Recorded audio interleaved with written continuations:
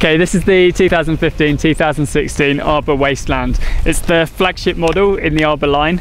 Um, it looks absolutely amazing. Um, again, it's one that you just want to hang on your wall. Um, to be honest though, that would be a waste. Um, you want to get out and ride it because premium build quality in this um, just makes the ride really, really good.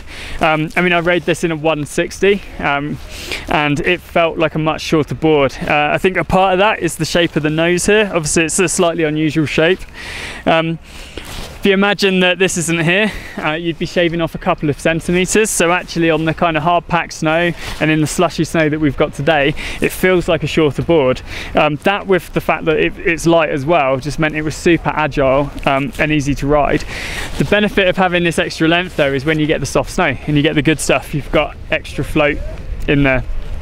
Um, another key feature with the Arbor boards, um, they're a rocker profile, so great for again riding in soft snow. If you've never ridden a rocker board in, in powder, then I definitely would urge you to do it. Um, you just take away that kind of back foot weighted thing, trying to keep the nose out, um, makes it effortless.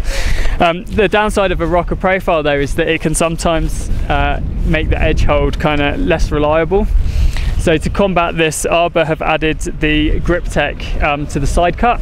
So that's kind of a, a bulging side cut under the, the, bindings. And what that does is it kind of focuses the pressure right under your heel and toe edge.